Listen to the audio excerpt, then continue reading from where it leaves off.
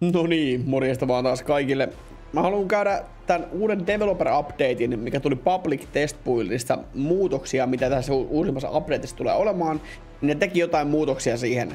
Käydään läpi täysin blind reaction. Mä en oo kattonut tätä vielä. Mä haluan käydä tämän läpi videolla. Katsotaan mitä tästä tulee. Eli it's been a little over a week since the Tools of Doom mid-chapteri. Uh, the server where we started blah blah blah blah blah, tää tiedetään joo.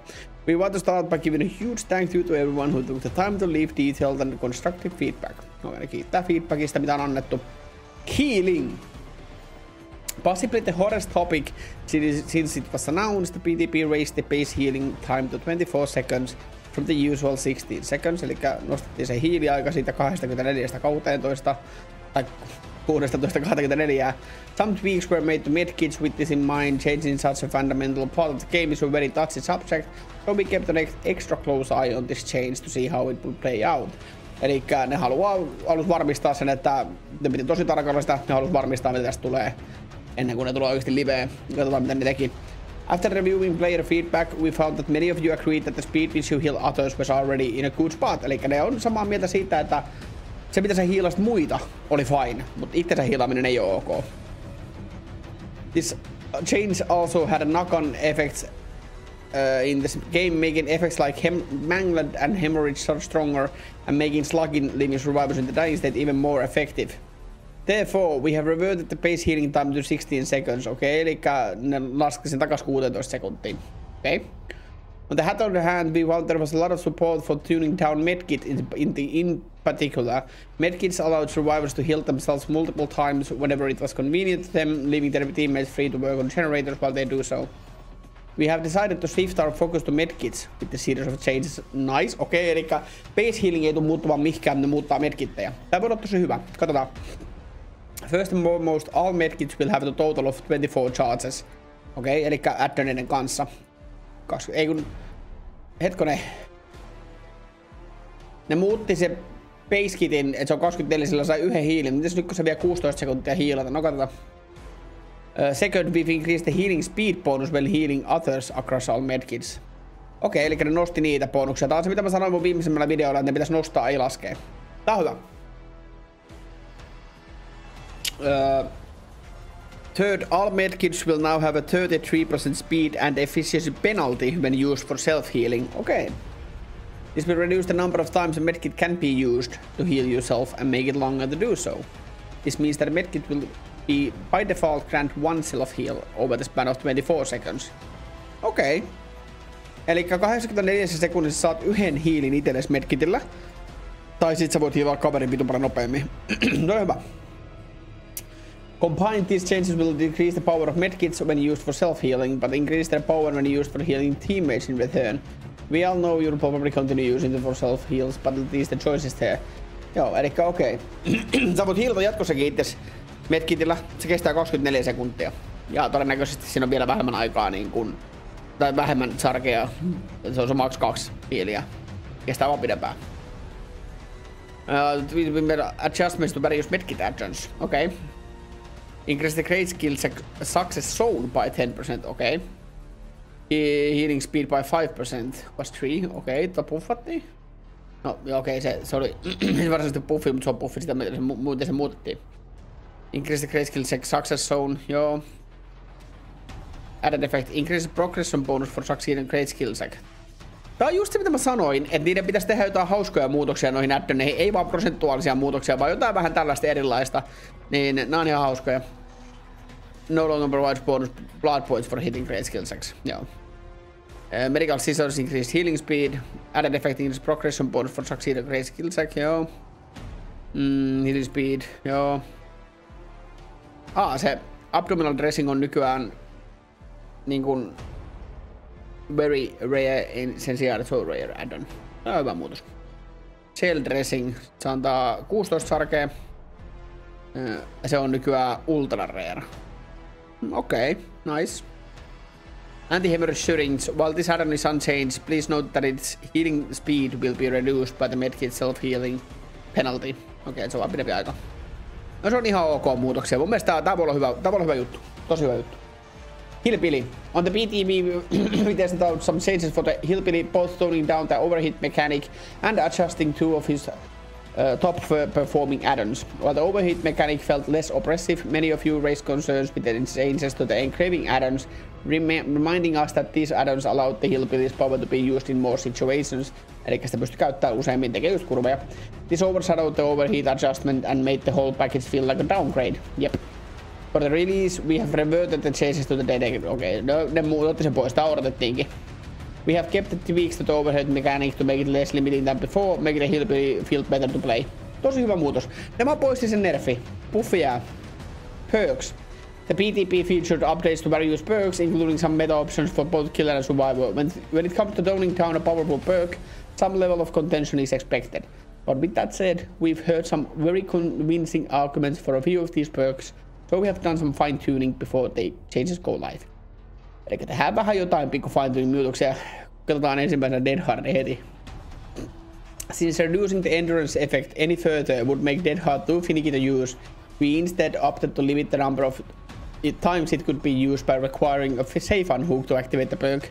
Whilst this has the intended result of limiting the number of times it appeared in the match and prevented it from being used in the first stage of the match, some of you pointed out that this new design indirectly encouraged the killer to change the unhooked survivor.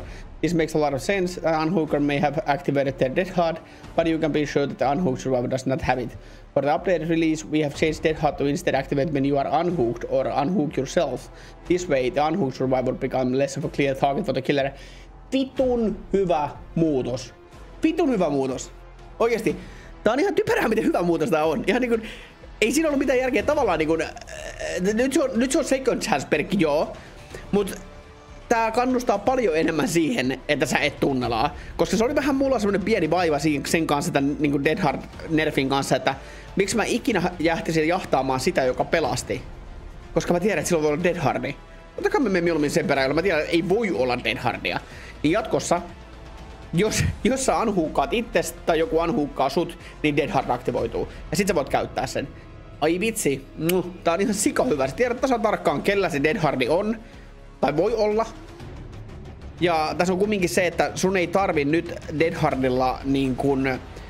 Se, se, se estää sen, että se ei voi olla ekassa chaseissa. Ja jos sä, jos sä käyttää sen kerran, sen Dead Hardia, ja sä otat sen Endurance hitin, niin that's it, ei voi mitään, näin kävi. Sä tiedät, että sille ei voi enää seuraavassa chaseissa olla sitä. Tää silti vähentää sitä, että kuinka usein sä tulet näkemään Dead Hardia per matsi. Se tulee vähentää sitä, että ei tunnu siltä, että niin kuin joka ikinen chase on kolmen niin kuin, kolmen Hellstatein chase. Tämä on tosi hyvä muutos. Mä en edes ajatellut, että toi, voisi olla käytännössä ratkaisu, vaikka toi on niin simppeli ratkaisu siihen ongelmaan, mikä mulla oli mielessä, niin tää on tosi hyvä muutos. Toki tässä on se, että nyt, no, no en mä tiedä, mun mielestä se on hyvä. Se on hyvä. Pain Resonance. Uh, the PTP paid resonance was changed to only activate the first time each survivor is placed on Scourge Hook. This change was specifically made to reduce the number of pain resonance could activate in a given match, especially later in the match when one survivor, one or more survivors were likely to be sacrificed. While this did have the intended result, many pointed out that this left the perk in a fairly weak state, not quite stacking up to the other regression perks. Fakta. Considering Scourge Hook Pain Resonance can only be activated 4 times in a match and requires killer to target different survivors, we will comfortable making it more rewarding for the killer to choose to take on bad challenge. Therefore, we have increased the regression amount of pain resonance. Joo, okei, okay, eli nyt se on 25 pinnaa. Eli sä saat käytännössä Pop Coaster Weaselin siitä, niin kuin täyden valuen Pop Coaster Weaselin. Öö, nyt se on taas käyttökelpoinen perkki.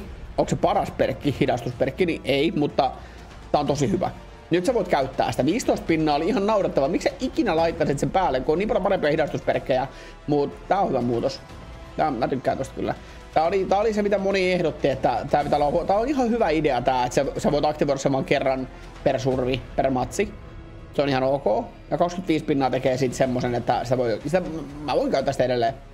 Circle of Healing. Since this perk no longer grants the self-heal ability, Circle of Healing found itself in an awkward spot.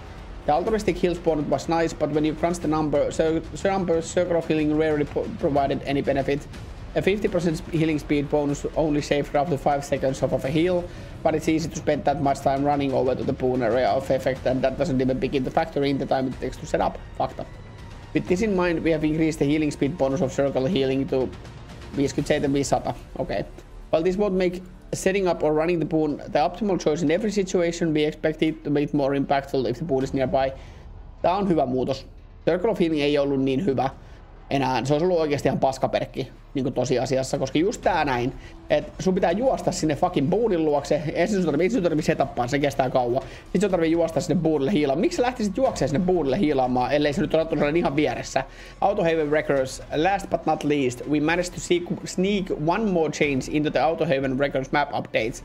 A while back, we added some new tiles to the realm. Some one of these new tiles, which featured a window and a pallet, ended up being fairly unsafe. We rebalanced the style, but it unfortunately didn't make it into PTP in time. However, an updated version of this style will be avail available upon release. Take a look. Uh, joo, onko se, palet, onko se paletti niin kuin... Tossa joo. Okay. Uh, no joo, ei se, se on vähän niin kuin enemmän unsafe long wall jungle sim. With that, we've reached the end of the developer update. We want to once again thank everyone who gave the changes a try and left detailed and constructive feedback. Our team will continue to keep a close eye on things once the update goes live to ensure that everything goes smoothly. Uh, ainut mitä mä olisin toivonut olisi se, että Call of Brine ei tarvinnut niin paljon vihaa. Call of Brine olisi saanut saada pikkupuffin vielä, muuten tosi hyviä muutoksia ja mä oon tosi tyytyväinen näihin. Ja mä ootan tätä patchia ihan saatanasti. Tää on varmaan yksi mun eniten odotetuimmista patcheista hetkeen, koska Medkit-muutokset on tärkeitä, Dead Heart-muutos on tärkeä, sieltä lähtee niitä Genkik meta muuttuu huonommaksi. Nämä on tärkeitä muutoksia ja mä ootan tätä innolla. Mitä sä oot mieltä näistä muutoksista ootatko sä tätä pätsiä? Jätä mulle kommenttia, tykkää tästä videosta ja muista tilata tätä kanavaa, jos et ole tilannut. Mä teen tosi paljon eri paneilla tai kontenttia, välillä vähän jotain muutakin. Mutta pikemmittä puhetta, niin mä näen teidät seuraavassa videossa.